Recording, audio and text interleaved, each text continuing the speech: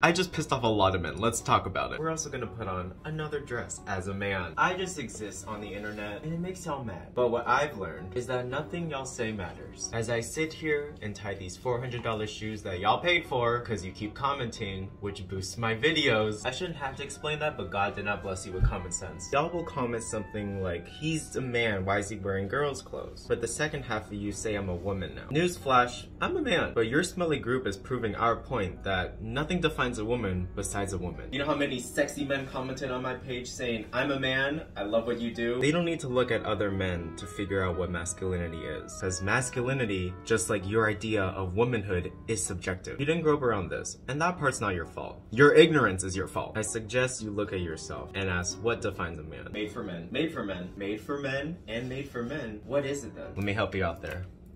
It's you. So go ahead, show me what you got, and keep commenting, because I'll just keep buying dresses.